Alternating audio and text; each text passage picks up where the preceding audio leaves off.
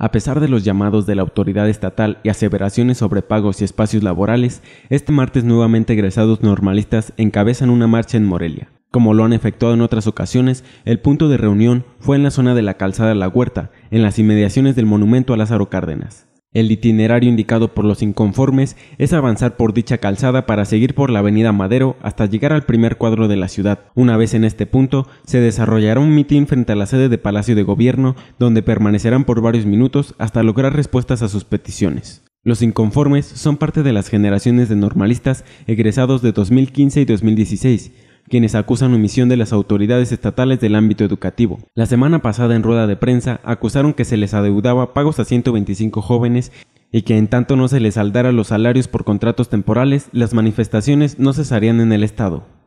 Con imágenes de Leopoldo Hernández e información de Uriel Morales, Agencia Cuadratín. Grupo de Oro presentó